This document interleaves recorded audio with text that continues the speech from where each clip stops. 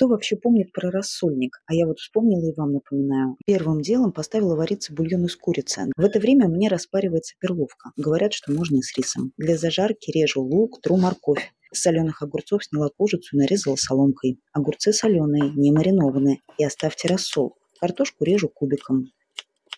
Сделала зажарку. Курица готова? Дало из бульона вместе с овощами. Закладываю перловку. Пусть варится минут 15. А я тушу огурцы с томатной пастой и рассолом. Когда перловка наполовину готова, кладу картошку. И минут через 10 возвращаю курицу в бульон, добавляю зажарку, огурцы с томатной пастой, лаврушку и перец, солю. Вливаю рассол. Это по вкусу. Довожу до кипения и провариваю еще немного. Готово. Приятного аппетита. Я готовлю, а вы подписывайтесь и ставьте лайки.